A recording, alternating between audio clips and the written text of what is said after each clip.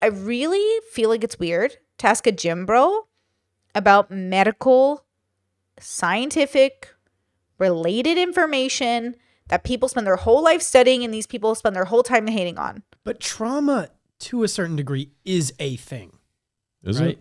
Because, well, if you look at, you know, all available data and people that go through certain things. I don't know what and that means, but like, do- if you look at all available data, but if you're saying like, do people have emotional disturbances? I would agree with you. I think if you tell people that they have trauma, they will absolutely be affected by whatever the thing is. I agree. I'm saying that It things exacerbates it. happen. So I gave the extreme example last time, but it's probably worth repeating. So you're a 14 year old girl, and you all of a sudden have this man you don't know, and he has sex with you. He's 35 years old. Traumatic. I think most people would be like, oh, okay, that's a traumatic experience. It was also just the Middle Ages, and you might actually be a wonderful daughter doing her duty because that's when they got married and they would be married to men who are significantly older for alliances for their family. Were they traumatized? Or was that just like actually the they were actually being a good daughter doing their duty as a as a daughter of their family? We seem to be more free than ever before. We can order whatever food we'd like, we can travel almost anywhere, and pursue any career that our heart desires. True. And yet, depression and burnout are also everywhere. The mental health crisis has only increased. Ooh, you mean the meaning crisis? Just kidding. Why is this? When was the last time you felt like you were enough?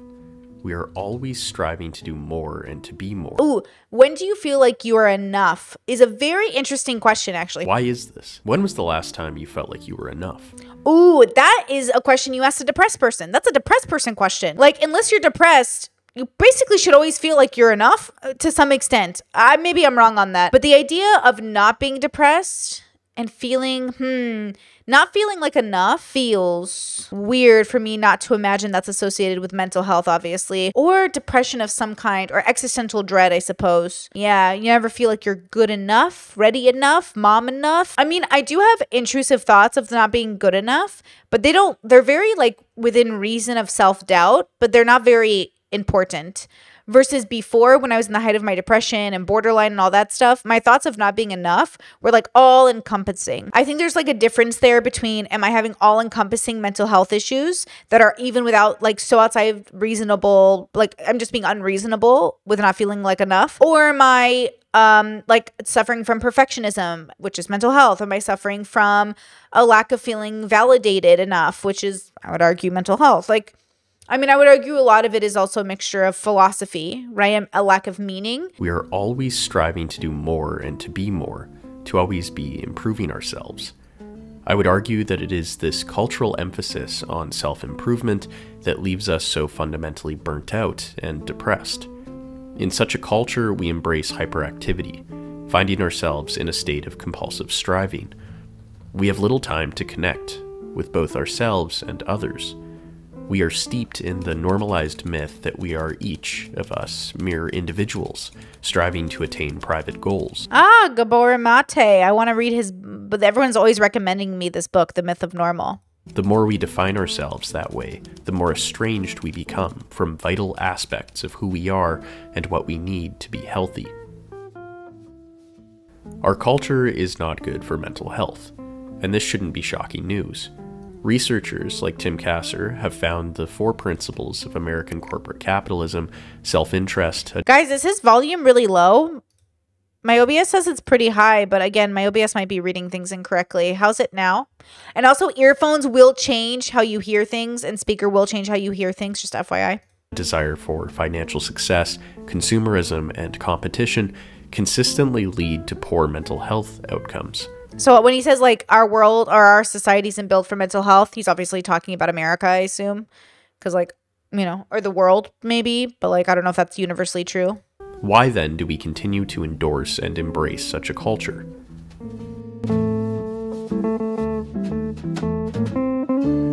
This video is sponsored by Brilliant. Oh, The research lab I worked in actually tested a lot of Tim Kasser's theories, specifically examined Ooh, I'm gonna mute that, but that's awesome. I'm gonna keep it going. Honestly, I don't know most people if I've. Oh my God, Fishy says I, don't, I honestly don't know if most people are actually trying to improve. They're just trying to meet standards outside of themselves. Mm, I think that's a little bit of the issue. Is it feels a little bit like people are always trying to appeal to the bubble rather than like understand themselves, like really know themselves, which takes a lot of energy though. It might be better just to think about society for some people, you know? Kayla says it's like shame versus guilt. Shame is associated with feeling you are inherently bad and worthless. Stuff like guilt and perfectionism can cause you to feel bad though. They do for me. Interesting. Yeah, I feel like for me, shame definitely has to do with disappointing the expectation of the bubble and guilt, my own expectations. So I rarely feel guilt or shame because I'm meeting my standards, right? The bubble I created, I almost never feel shame because I I'm pretty basic and I act within the means of that expectation. And then when it comes to by step solutions and fun oh my gosh, it's still going. And then when it comes to guilt, like I rarely betray my values. And if I do, then I just make amends for it. But I feel like when people are suffering from what they call guilt or shame, it's because they're still inherently operating their consciousness within the bubble. Discord says with chronic health problems, I struggle not feeling enough at times. I will I will say I have those thoughts of not feeling like I'm doing good enough based off my own standard, but then I also know that that's a part of feeling sick. So then I don't pay too much attention to it because obviously that's just me getting used to the new normal. And I obviously don't give a fuck what other people think I'm going through because they don't fucking know, obviously. Like just thinking about it with the fibro or the expectation of having a baby, the strain on my body would be outrageous. Like I don't need other people's input about how my body feels in relation to having babies. So I don't give a fuck what they expect of me in terms of being a mother. But that's because like I've also disassociated like I've moved myself away from their expectations because it's not my values, right? I'm obviously still working on, you know, not allowing my thoughts to be like you're the same you're the you can get back to original Brittany. Like I'm never going to be original Brittany again. I have to tell myself you're still getting used to things obviously because I keep forgetting I'm chronically ill and then it flares up and i'm like you can't do shit you used to do girl so yeah obviously i agree with discord like those thoughts do come into my mind where i'm like oh my god like why aren't we the same as we used to be, meaning why aren't we good enough? But we are good enough because this is the new normal, you know, something like that. And then shame, yeah, is about the core in relation to the bubble. Okay, so I could see that absolutely. I feel like that's what philosophy and meditation is for, is to recontextualize your own understanding of your consciousness in relation to these things, like they're constructs created and related to genetics and learned behavior and trauma. And so obviously they're they're something that you can decide to engage with or to move away from. This form of social organization tells people what they should do through surveillance and monitoring. Interestingly, in his later years, Foucault wrote about a more specific form of discipline that he called the technologies of the self. Mm. Intentional and voluntary actions by which men not only set themselves rules of conduct, but also seek to transform themselves, to change themselves in their singular being, and to make their life into an oeuvre nice. that carries certain aesthetic values and meets certain stylistic criteria. Such individuals might abide by a strict morning routine, practice cold showers, and subscribe to a set of self improvement and self help podcasts. And they will likely feel a sense of freedom and pride in doing so. Mm-hmm. Such an individual appears to stand in contrast to the fearful subject of the disciplinary society, as they aren't being compelled to follow such a strict routine by some authoritarian observer. They are free to become who they've always wanted to be. Interestingly, as Byung Chul Han argues, a society that normalizes this technology of the self is actually more effective in extracting resources from its members than the surveillance methods of disciplinary societies. Instead of a society that runs on telling people what they should do, this new form of control tells people what they can do. Ooh, Maiden says sometimes I wonder if this propensity for self help is a trauma response. Let me tell you, all these self help people never fucking go to therapy. And again, I'm saying therapy like a doctor, not like go to a therapist who's a doctor, but if you have a broken leg, don't watch a self help podcast. You can watch the self help podcast about what to do after you've gone to the doctor for your broken leg. I think that's really helpful, or maybe before, so you know, oh, I should go to the doctor. But I feel like a lot of these people ask Reddit or listen to podcasts or ask their friends before they ever go to people who have actually spent their life studying things. The reason you want to go for a therapist who's obsessed with their work. Look, you don't want to go to a therapist that's in it for the money, and you don't want to go to a therapist that's like uh, got a really strong ideology. You want to go to a therapist who's an interested, curious, scientific person who's very interested in solving problems for their clients and for medicine in general, right? Like mental health. So you want to go to somebody who's actually interested and thoughtful, right? About solving problems. You don't want to go to somebody again who's pushing an ideology because they're just gonna fucking make you one of them. You don't want to go to somebody who just wants money because like they're not gonna fucking help you. You want to go to somebody who's actually very curious and loves their work. Like that's the kind of therapist I recommend. Somebody who really loves problem solving so they can help you problem solve. Right? Somebody who really likes it. Same with doctors. Like I don't I can always tell bad vibes, good vibes from doctors. Not all doctors are good people, right? So again, you don't want a doctor who's just like just there to get a paycheck. You want a doctor who's actually invested and thoughtful about their clients. So I feel like these self help podcasts, I think that they're there to make money. I think they're there to do that. I was watching Graham Stephan talk about how, you know, he was a realtor and that validated him in terms of talking about being a realtor and selling houses and making money. Then he made his money and because he became a millionaire, he could then talk about being a millionaire. And on YouTube, he eventually realized that a lot of the guys who have podcasts now aren't even in the businesses that gave them the qualifications to have a podcast that made people listen to them. Now they run podcasts telling people how to be like they were 20 years ago. And there's something about that that I think is like really important to remember. A lot of the self help podcasts literally were in their industries just long enough to use it as a qualifier to have the podcast, which was always the goal, or to have a means of doing something else, or to like, you know what I mean, not actually work the job that they are best known for.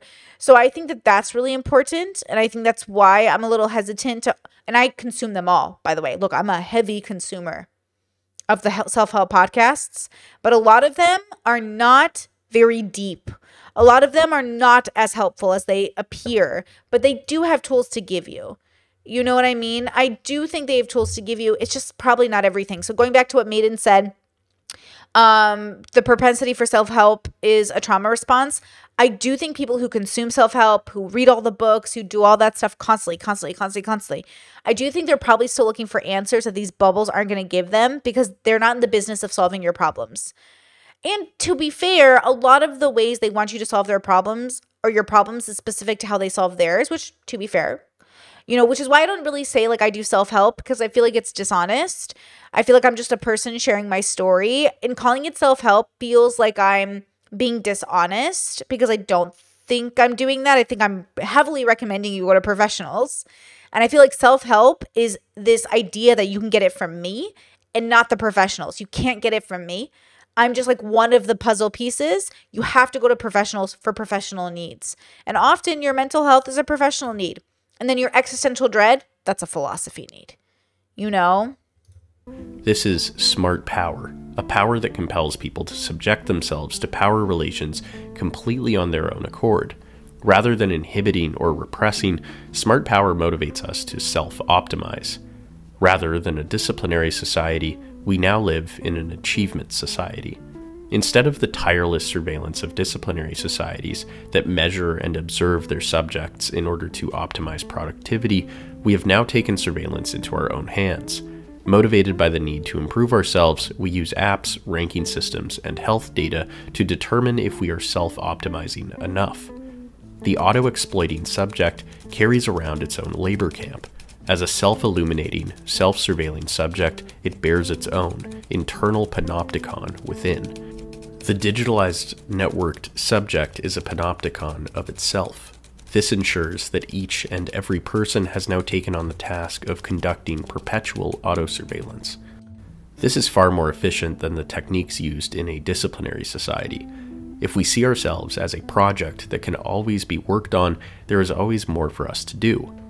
Not only do we take on the task of monitoring and measuring ourselves, we also feel compelled to constantly improve ourselves under the idea that this is fundamentally good for us. As an entrepreneur of himself, the neoliberal. I, I think what's important is to be introspective. You know, I was watching Alex Hormozi, very popular, made $100 million opening gyms across America, which then brought him into the podcast world. And he was being asked on the Iced Coffee Hour by Graham Stephan. And his co-host he was being asked about depression or anxiety or something in that regard. And he said you know i just don't think these things are really that real. And i think that the way you have a relationship with them changes and da da da. But these aren't mental health professionals. Like once again stop asking gym bros about their mental health. I really feel like it's weird to ask a gym bro about medical scientific related information that people spend their whole life studying and these people spend their whole time hating on. I want to know because we talked. I think it was the first or second time you came on the podcast about trauma. Sure. Because you have very interesting takes on trauma. It really has to do with the way that other people respond to your trauma and then your perception of how you should be feeling after a specified event occurs, I agree. which is crazy. I'll t- I'll add one piece to what you said, Yes. which is that you said um, people experience trauma. I would just erase that. Things happen. Things happen. No Period. need to label good or bad. Right.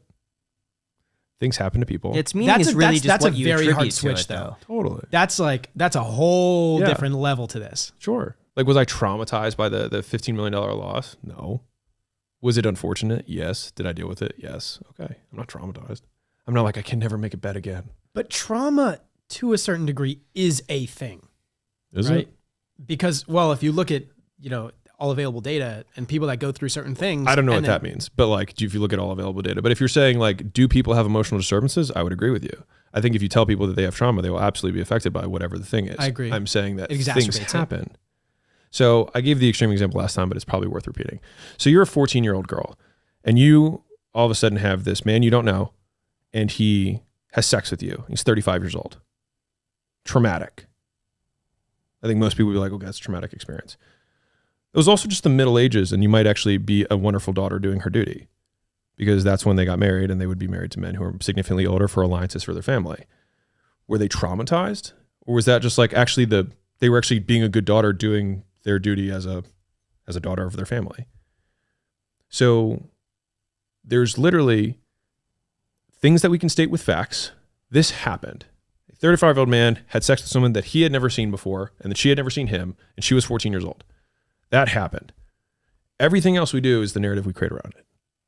And I use that extreme example, which everyone like, you know, pulls away when I say that, but it's like you have to use the extremes to make the point.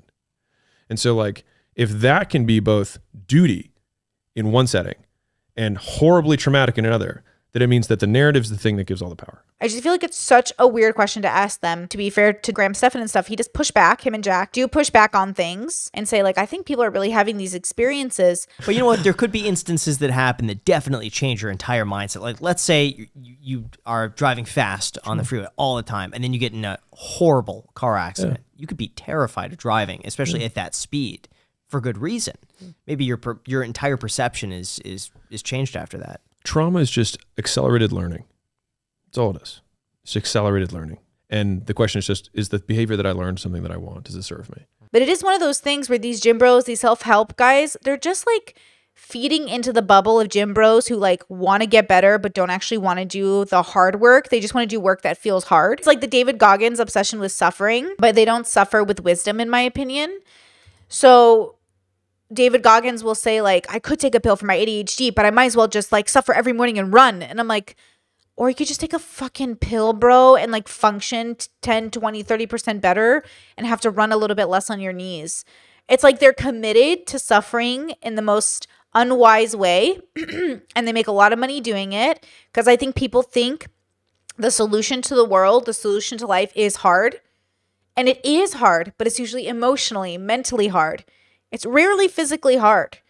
Like, I'm going to be real with you, it's rarely physically hard you know but they feel i think more fulfilled thinking like they're rough and they're tough and they like experience something but then they want to give themselves credit for being great wisdom like think or great like wise people or they've been really well read but like you know again what's hard is facing yourself and you have to face yourself by recognizing like you might even be like cock blocking your success even now you know so again, peace and love to David Goggins, but don't you think it's a little unwise that he's destroying his body so he can keep up his discipline instead of taking a pill that medical science has like shown over time to help? Now, he doesn't have to.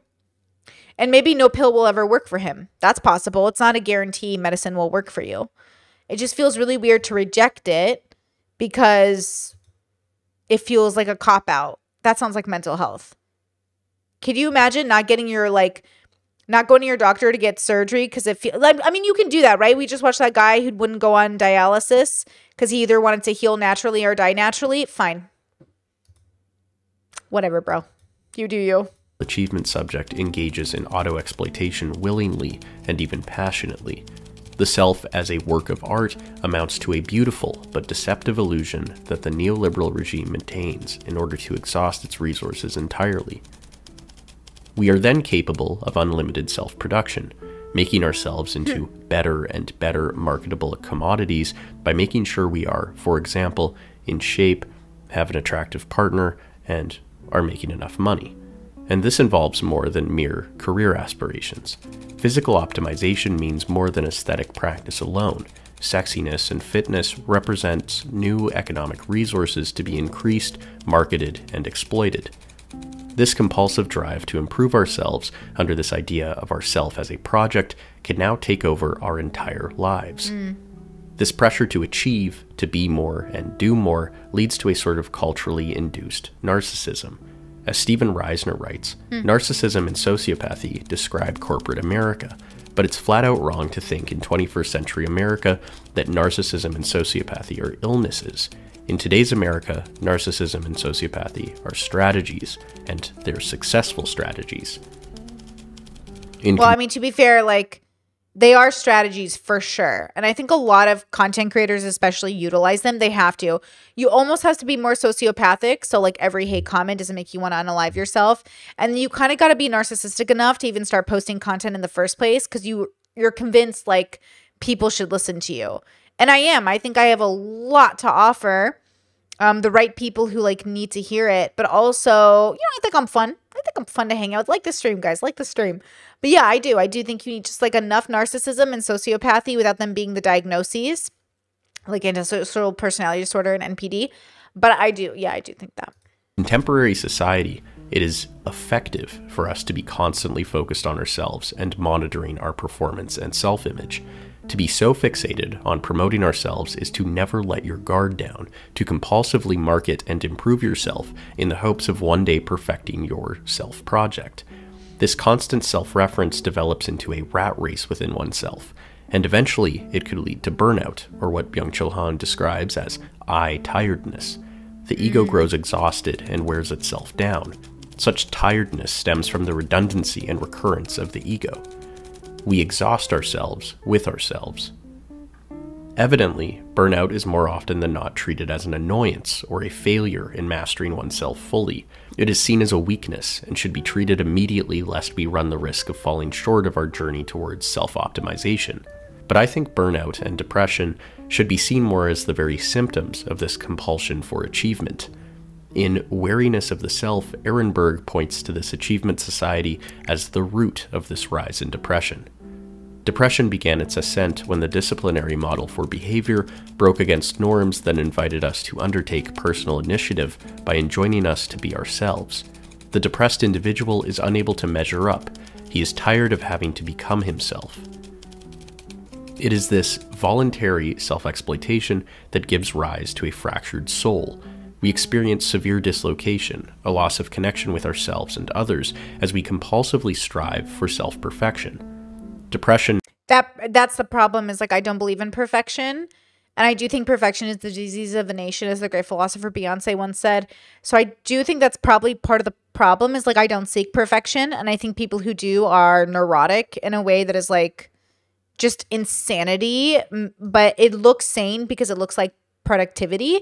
And so people have convinced themselves that it's like reasonable. All the perfectionists I know in my life are successful in a lot of ways, but they're also very unhappy. You know, they're pretty unhappy. And I think that is because they're seeking something that's so without reason. Like, guys, I mean this in the greatest way, and maybe this is my biology, so I'm very lucky, but I refuse to be that inefficient. It is so inefficient to seek perfection. It's just such a cock block. It makes no sense. I have a friend who's a perfectionist, and they were like, I can't believe you're willing to post YouTube videos. This was like when I was, you know, years ago. And I was like, well, if I never posted and I waited until the perfect moment, I just wouldn't be a content creator. And now I'm doing it full time. I've got a great audience. Thank you guys for being here. I've got a great support system. I've got a great job. I'm really, really lucky. And to my perfectionist friends, like they would never, they would never have been able like to post the way that I posted. But I just posted anything and everything. Even now, you know, I'm always getting better better every year as a content creator, but I just can't. I can't wait for things to be perfect. They never will be. And I just I I I just know I'm going to die, so I can't do it. You know? So again, it is kind of interesting this idea of perfectionism. I think that's why I don't like the self-help bubble very much. And I don't like the guru bubble is like everyone feels very much like they're seeking perfection. Even the audience wants it from you. Like the audience wants you to be perfect, and I just like I don't like it. It feels exhausting and burnout are simply the canaries in the coal mine in terms of demonstrating the destructiveness of such an achievement culture. This is not to suggest that self improvement or the striving to be a better person is inherently maladaptive. Such a journey is healthy and often beneficial. However, we should pay close attention to when such a process collapses into a hellish cycle of excessive self reference and exhaustion. It is more than likely that such an outcome is the result of And it says I don't think people see it as perfection though, just as better. Uh I don't know. The people in my life do reference it as being perfect and they do use the word perfection and they are self-aware enough to know that they struggle from it. And even the men in these self-help things, they always say like I want to be the best. I want to be the most this. I mean, that's basically what the idea of perfection is around. So yeah, some people definitely don't know it's perfection or they think about it as being perfect. The people in my life though do reference it as that. Like they use those words. So of self exploitation rather than healthy, intrinsically motivated self improvement. Alienation is inevitable when our inner sense of value becomes status driven, hinging on externally imposed standards of competitive achievement and acquisition, and a highly conditional acceptance in others' eyes. We struggle to answer the question, Who am I? And this is an important question to answer if we wish to ever truly improve ourselves. Erich Fromm's Escape from Freedom is a masterful exploration hmm. of how freedom alone can nonetheless leave us unhappy, alienated, and vulnerable to authoritarianism. Negative freedom, the absence of constraints, does not bring us closer to solving the question of who we are. We live under the illusion that we know what we want, but, as Fromm argues, the sad fact of the matter is that we want that which we are supposed to want. This, I would argue, is at the root of compulsive self improvement. We have become automatons who live under the illusion of being self willing individuals. He lives in a world to which he has lost genuine relatedness, and in which everybody and everything has become instrumentalized, where he has become part of the machine that his hands have built. Fromm's key hmm. hmm. here is simple spontaneity. Seen in both artists and children, spontaneous activity does not abide by rigid self optimization and improvement. Instead, it is an embrace of activity for the sake of the activity itself. that is not how I think of spontaneity. I'm not a very spontaneous person. That is not how I think of spontaneity. Um What? That is not what I think of spontaneity as. I think of spontaneity as like thoughtless action versus like just doing things cuz I want to do them. I do that all the time. But like spontaneity to me is like thoughtless action. Like doing it without a plan. Like just like, oh, I'm gonna do this. I'm gonna do it right now. But like you're not just doing it because you want to do it. You don't even know why you're doing it. Like you're so spontaneous that you just like without warning, without thought. That's how I think of spontaneity. Oh, that's funny. Um, Brianna says, "Are you still better than self help? Like me, per like my content? I mean, I think everything gives you a tool. So like self help can be very helpful. I've watched, like I said, tons of it. I just think it has like a stagnation of its own, and so it's not like the greatest tool. And same with me, like I'm not the MD you need to go to. I'm not the therapist you need to go to. I'm like, not a lot of things you need to go to. So I'm still, it's not about being better than self help. It's about self help being only part of the like spice of the soup. I'm just another spice, you know? Um, Jeannie says, as a therapist, I want to add clients don't bring problems to therapy. They bring their solutions that aren't working. Therapy helps identify the true problem and the more functional solutions. I'm not sure if you mean that in a black and white sense because I'm not, that's not my lived experience, I think. I'm not sure what you mean by that. Clients don't bring problems to therapy, they bring their solutions that aren't working. I mean, that's, I, yeah, my, I'm only picking at your, I assume you didn't mean it in the way that you wrote it, but obviously not. It would be weird that if every client was coming into therapy that way, right? Some people just don't know what's going on and they have no solutions. and so they have problems, right? Like, am I misunderstanding? It just sounds like your wording is a little too black and white for me, but I think I get what you mean. Um, Monet says imperfect people thrive in the world every day, so why can't I? Not only, girl, that is so fucking true. That is like what I try to tell my perfectionist friends. I'm like, girls, look at the world and look how it's built by imperfect people forever since day one. You don't got to be perfect. Really don't have to be. You know what I mean? Mm-mm. Yeah, absolutely not. Kay says, My understanding of spontane- spontaneous aligns with his. It can show itself in that careless form you're referring to, but I don't think the word itself has a negative attachment and expression. Yeah, I don't think it has a negative attachment and expression. I used to think I was a really spontaneous person, but then I realized like I don't think that I am. I think I think things out way too often to be very spontaneous. I do think things through very quickly though, and I've noticed that because I think quickly, I think people think it's spontaneity, even myself, but I, I do think about things pretty. Yeah, I keep, I keep thinking spontaneity has to do with like a lack of thoughtfulness, but I'm not sure. Uh, I don't know. Hmm. Hmm. Okay, Fishy, I'll write down this message. Off topic, Brittany, but at some point, can you make a podcast episode or video about how you manage detachment, manage detachment from the current version of yourself while also being with a life partner? Detachment from this current version of yourself while also being with a partner. You might want to expand on that for me, but I'll write it down. Art, play, time with friends, and a gradual slowing down flies in the very face of the sorts of self improvement that lead to burnout. As Fromm writes, spontaneous activity is the one way in which man can overcome the terror of aloneness without sacrificing the integrity of the self. For in the spontaneous realization of the self, man unites himself anew with the world. This partially relies on truly giving attention to the moment. Through Deep Valley with the super chat. You're dope. Thank you. You're dope. I really appreciate it. I appreciate it so much. Guys, thank you so much. Like the stream. Thank you so much. That's so sweet. Thank you. Happy Friday. active listening and observing. The gift of listening, as Byung Chul Han observes, is entirely inaccessible to the hyperactive ego, which must close itself off in order to constantly measure and optimize itself. Any disruption from the outer world is considered to be a threat to achieving our potential. To listen is to open oneself up to themselves and the world around them. Our world has made us increasingly focused on ourselves as a project.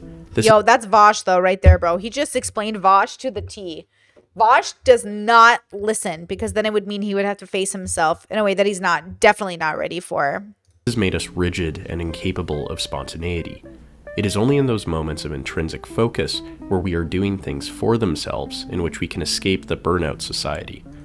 Uh, funny Kay says, yeah, I think I'm spontaneous, but I think quickly as well. So my spontane- spontaneous actions are reckless or uneducated. Discord says, I think spontaneity spontaneous implies a lack of a plan. Interesting, because yeah, I used to think I was spontaneous, but then I thought like I'm not. What I see in other people when they exhibit spontaneity, like he said, the artist or the child, like yeah, that's not me. It looks like me because people think that's what's happening but i'm i'm really thinking i think most things through yeah. Not that i've never been spontaneous but i'm not a spontaneous person meaning i'm not chronically spont it's not a part of my personality. And i do think about things like when people ask me out for lunch or for a phone call i don't i can't just say yes. I have to think it through and think about the consequences how i'm going to feel tomorrow if i do it and all that stuff. Call it a flow state, spontaneity, or resonance, we find ourselves alive only when we risk destabilizing our journey towards mm. self perfection. Here, I think Bertrand Russell gives us the most succinct path forward in combating self absorption. The secret of happiness is this let your interests be as wide as possible, and let your reactions to the things and persons that interest you be as far as possible friendly rather than hostile. Great video as per usual. Yeah, I think the myth of self improvement and this whole like self help bubble, I think it can be incredibly important and an offshoot of that like becoming a whole human being about, you know, looking inward and thinking about where you are and what you have to do next. I think self help is such a two bubble. And I think self help in itself is limited and stagnant, but I do think philosophy and and medical intervention like kind of help in a more tangible way. There's that episode of Sex in the City I often talk about where I think it's Charlotte or maybe it's Miranda, but they keep going to the self-help aisle and they realize this woman who's been chronically crying at the bookstore in the self-help aisle, you know, she's sitting there crying over the self-help book. She's like I've read that book 10 times and oh, this is my favorite one. And they realize, like, looking at this woman who's on her 10th or 8th self help book is still, well, not helping herself. So there must be a larger and bigger answer. And I think that is kind of how I see self help as a very limited, good option temporarily. Um, bubble of thought. You know what I mean? And philosophy can be the same way in a sense if you like you know stop yourself from considering a different idea or or updating a philosophy again stagnation is up to you you can be stagnant i'm not going to moralize it for you but i do think that if you stay in a place and you don't move forward and you don't look for more ways to question the self then you're probably not being as introspective as you think right and if you let your pride stop you from getting help how introspective can you be you know, like, I mean, obviously on a spectrum, we all have to deal with that. Even I have to fight my ego and remind myself, like, you can ask for help. But if you've, you know, really self sabotage to the point of not asking for help because of your ego.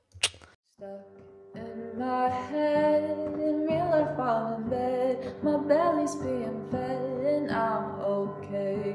I'm just fine, yet all I do is whine. Not to you in my mind, cause I know I don't make sense. I've been nothing but blessed. So why's my life a mess? Please tell me, Cause I'm sick of thinking Yeah, I'm sick of reaching out for the truth